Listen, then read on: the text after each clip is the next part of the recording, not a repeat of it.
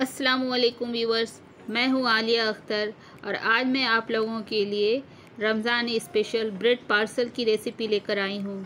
तो चलिए आइए, देर ना करते हुए जल्दी से सीख लेते हैं कि ब्रेड पार्सल बनाते कैसे हैं। ब्रेड पार्सल बनाने के लिए मैंने यहाँ पे एक पैन में तीन से चार चम्मच तेल गरम कर लिए हैं और अब ये एक वन टी स्पून लहसुन अदरक का पेस्ट है, जो मैं इसमें ऐड कर रही हूँ। इसे लगभग 30 से 40 सेकंड अच्छे से भूनेंगे। इसके रॉ स्मेल अच्छे से ख़त्म हो जाए।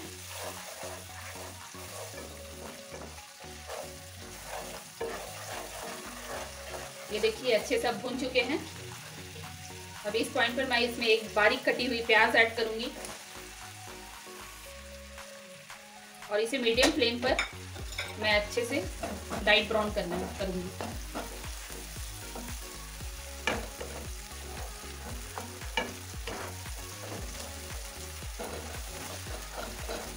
प्याज को खूब अच्छे से चलाते हुए लहसुन और अदरक के पेस्ट के साथ लाइट ब्राउन कर लें। इस बीच लहसुन, अदरक का रॉ स्मेल भी खत्म हो जाएगा और प्याज भी हमारी अच्छी सुनहरी भून जाएगी।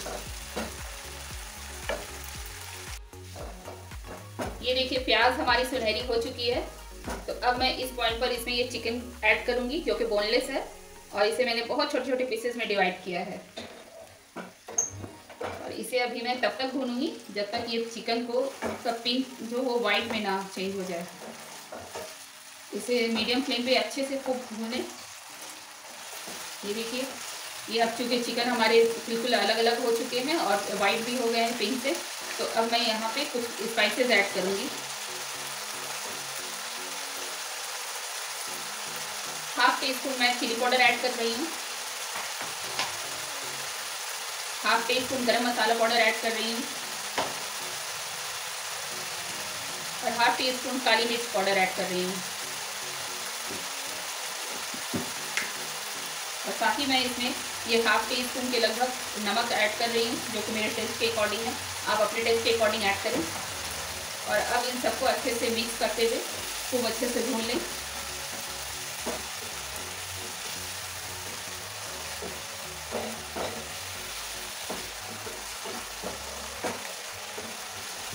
अभी व्यूवर्स एक थोड़ा सा भी इसमें पानी मत डालिएगा।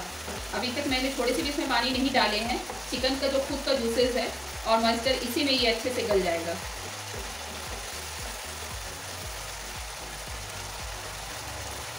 ये देखिए, ये अच्छे से भून चुके हैं। अभी मैं फ्लेम को एकदम बिल्कुल लो कर दूँगी। और इसे ढककर लगभग पाँच से सात मिनट इसे अच्छे से कुक करूँगी। बेसिकली मुझे इसे गलाना है। इसे भूनते हुए चार से पाँच मिनट हो चुके हैं व्यूवर्स और ये बहुत ही अच्छा सॉफ्ट और टेंडर भी हो चुका है चिकन के पीसेस ये देखिए। इस तरह से मैं आपको इसके पीसेस तोड़कर दिखा रही हूँ। ये बहुत इजीली टूट भी जा रहे हैं। अब मैं यहाँ पे थोड़े से टोमेटो केचप ऐड करूँगी इसमें, जो कि वन टी स्पून के लमसम में और साथ ही मैं थोड़ा सा शेजवान चटनी ऐड करूँगी। और अब इन सबको अच्छे से हाई फ्लेम पे मैं भून दूँगी, अच्छे से मिक्स करते हुए।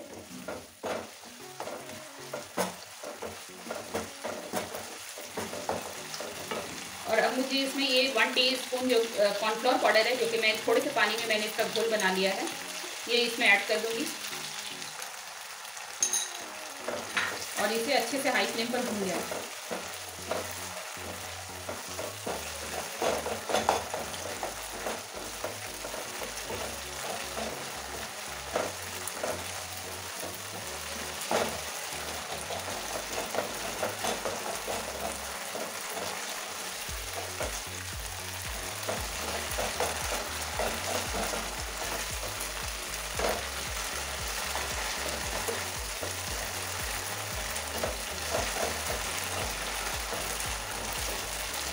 ये देखिए, ये बहुत ही अच्छा भून चुका है।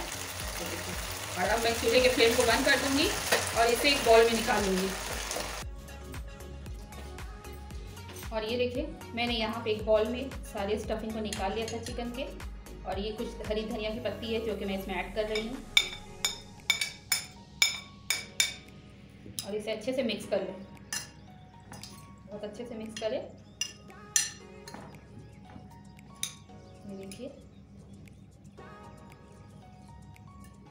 और अब देखिए, ये मैंने यहाँ पे कुछ ब्रेड के स्लाइस लिए हैं। इसे मैं यहाँ चॉपिंग बोर्ड पे रखूँगी और इसके सारे किनारे के एजेस को निकाल दूँगी। इस तरह से कट करके सारे किनारे के एजेस को निकाल दें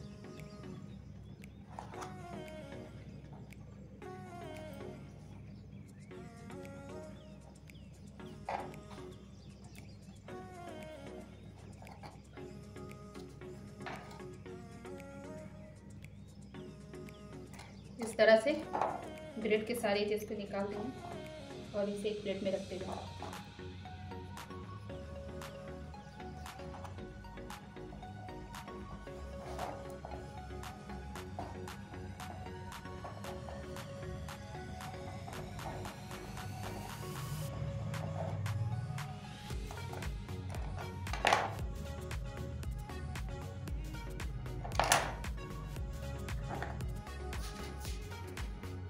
ये देखिए व्यूवर सारे ब्रेड्स के मैंने इस तरह से साइड से कटिंग करके निकाल लिए हैं। और अब मुझे इस एक पीस के ब्रेड को लेना है चॉपिंग बोर्ड पर। और इसे बेलन की मदद से थोड़ा प्रेस करते हुए इसे बेल लेना है इस तरह से। पलट के भी इसे बेल ले। ये देखिए। और अब मुझे ये स्टफिंग वन टी स्पून इसमें डालनी है। आप अपने हिसाब से डाल सकते हैं। मैंने डेढ़ चम्मच के करीब इसमें स्टफिंग ऐड की है। और इसे पानी की मदद से चारों तरफ़ थोड़ा थोड़ा पानी डालूँगी इस तरह से। थोड़ा थोड़ा डालें बेसिकली मुझे इसे स्टिक करना है। आप चाहें तो मैदे का ग्लू भी बना सकते हैं। एक चम्मच मैदे और पानी का अच्छे से घोल बनाकर उसके ग्लू बनाकर भी आप इसे स्टिक कर सकते हैं। मैं यहाँ पे पानी की मदद से इसे चिपका रही हूँ। चारों तरफ़ मैंने पानी डाल लिए हैं और अभी इसे हथेली भी इस तरह से उठाकर दोनों हाथ से इस तरह से दबाऊँगी। ये देखिए कितने अच्छे से चारों तरफ़ से चिपक गया है। देखिए, कोई भी साइड खुला हुआ नहीं है। सब तरफ़ से चिपक गया है। अब इसे मैं एक साइड में रख दूँगी। इसी तरह से मैं दूसरे पीसेस भी ब्रेड की लूँगी और इसे अच्छे से प्रेस करते हुए थोड़ा बेलन की मदद से बेल लूँगी।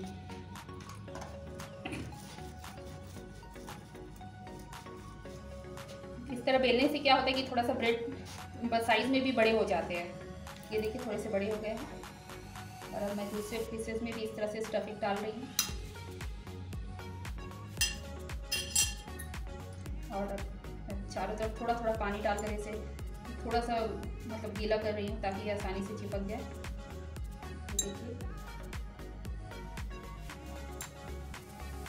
क्योंकि मुझे इसे पार्सल के शेप में बनाना है। इसीलिए मैं ये कर रही हूँ। इसे हथेली को उठाएँ और इस तरह से इसे दोनों हाथों से प्रेस कर दें। ये देखिए, बहुत आसानी से ये स्टिक हो गया है। कोई भी साइड खुली हुई नहीं रहे।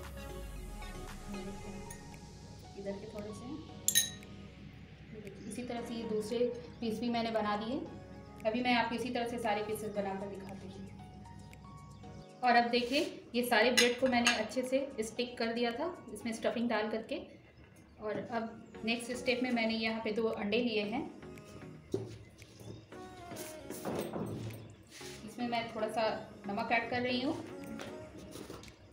और थोड़ा सा काली मिर्च का पाउडर ऐड कर रही हूँ। अब इसे अच्छे से फेंट लेंगे फॉक की हेल्प से। आप चाहें तो यहाँ पे थोड़ा से दूध भी ऐड कर सकते हैं।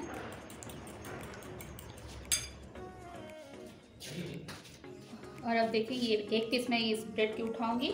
अंडे में इस तरह से मुझे एक हाथों से डिप करना है।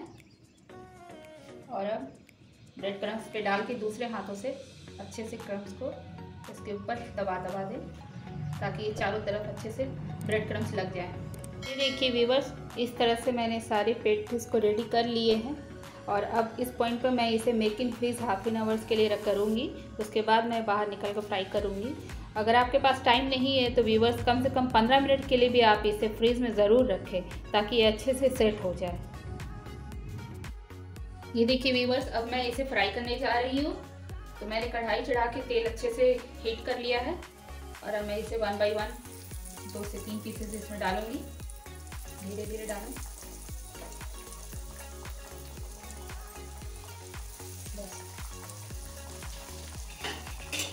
और अभी इसे मीडियम फ्लेम पे अच्छे से इसको रेड एकदम लाल होने दे। ये देखिए वीवर्स अब इन्हें धीरे धीरे मुझे इनके साइड चेंज करने हैं। ये देखिए इस तरह से। बहुत ज़्यादा डीप ब्राउन नहीं इनको करना है। हाई फ्लेम पर इसे बस एक साइड के एक मिनट और दूसरे साइड के एक से दो मिनट इन्हें फ्राई करके निकाल देना है। बहुत ही अच्छे ये और क्रिस्पी फ्राई हो जाते हैं हाई फ्लेम पे। और अब मैं इन्हें एक से डेढ़ मिनट तक और इन्हें फ्राई करूँगी और इसके बाद इसे डिश आउट कर दूँगी। ये देखिए व्यूवर्स अभी तक ये बिल्कुल डिश आउट होने के लिए रेडी है। अभी मैं वन बाय वन करके मैं इन्हें डिश आउट कर रही हूँ। इस तरह से टिश्यू पेपर पे निकाल दूँगी ताकि एक्स्ट्रा ऑयल जो है, वो अच्छे से निकल जाए।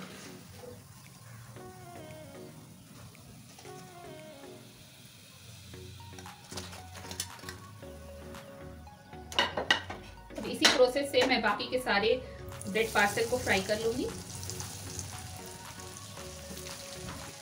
मैं बाकी सारे ब्रेड पार्सल फ्राई करके आपको डिश आउट करके दिखाती हूँ। ये देखिए वेवर गर्मा गर्म ब्रेड पार्सल रेडी है। आप भी इस रेसिपी के अकॉर्डिंग अपने घरों पे ये डिश बनाएँ और इन्जॉय करें। बहुत ही लजीज और कम वक्त में बन जाने वाला ये डिश है।